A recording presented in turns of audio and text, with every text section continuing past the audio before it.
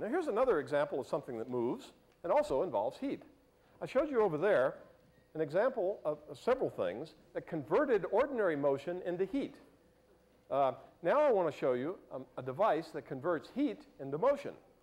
And it works because there's a little flask here that has a little bit of water in the bottom.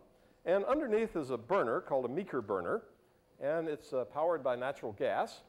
So I'll turn the gas on and light the burner. And what do you think will happen to the water in a little while? It'll boil. That's right. Now, when the water begins to boil, you notice that there's some little nozzles here that come out and make a right angle bend. Uh, what do you think will come out these nozzles after a while? What do you think? Hot air. There will be a lot of hot air that comes out of those, but there's something else as well. What do you think? Steam, exactly. So um, after a, a moment or two, you'll begin to see this boiling.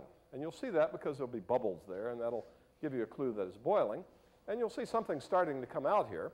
And what do you think will happen to this thing once the steam starts to come out? It'll turn into gas. Steam is a gas already. Uh, but um, indeed, some, some gaseous water will come out of there. And what will happen? It'll spin around. That's right. You may have seen those lawn sprinklers that look kind of like that. When the water comes out, they go round and round, don't they? That's exactly the same principle that the rocket works on. The rocket works because something comes out one way, and that propels it around in the opposite direction. So now, can you see something coming out here? Yeah. What is that? Steam? Actually, it's not. Steam is an invisible gas. What you're seeing is when the steam comes out, it's very hot, and when it comes in contact with the air, which is much colder than the steam, um, it condenses back into liquid water. But not liquid like we've got in there, very tiny droplets of liquid water.